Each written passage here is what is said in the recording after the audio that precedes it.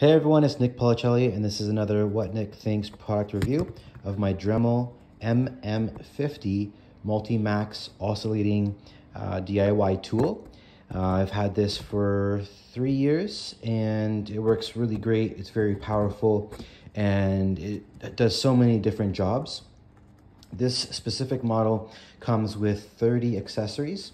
Um, so you're able to cut door jambs or trim or baseboards and uh, you, it has all the attachments so that you can cut whether uh, any wood, metal, plastics, uh, and then of course uh, even the sanding attachments that are in the bag here.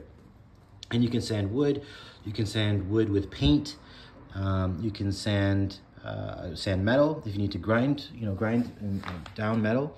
It has the different attachments. Uh, comes with the instruction manual, of course, and uh, a storage bag. Um, this is uh, electric corded, and so it does provide good power. Uh, it has a 5 amp uh, motor and is 120 volts. It also has a variable speed control. And what I like about this the most is um, even though it's powerful, it's low vibration.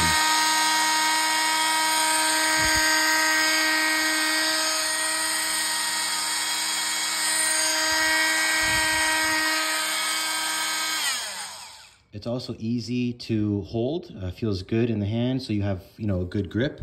And um, yeah, it's low vibration, like I was saying, and uh, that allows you to have, you know, clean cuts. Um, and it also uh, is a smaller uh, nose, I guess, so it's easier to fit into uh, tight uh, spaces or, or reach, uh, you know, corners.